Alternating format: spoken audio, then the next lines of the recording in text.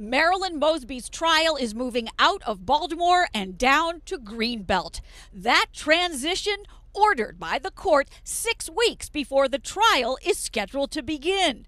The federal judge granted a renewed defense motion for a change of venue after Mosby's team argued pretrial publicity has impacted the jury pool significantly more here in the Northern Division in Baltimore than the Southern. Mm-hmm. You gotta move it to protect Mosby's rights, the defense argued. The government attacked the defense expert analysis as flawed and set up to find bias. The judge did not address that critique in her ruling from the bench, but did say this quote, the defense has shown pre-trial publicity to a degree has had an impact. And there is one result that sticks out to the court that 45% in the Northern Division had heard about Marilyn Mosby in the case, and by comparison, only 26% of respondents in the Southern. And the change of venue was just the start.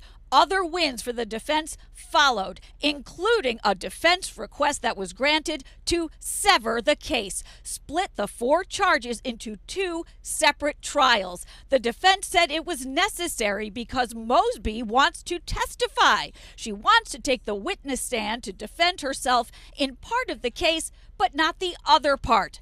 And the judge agreed.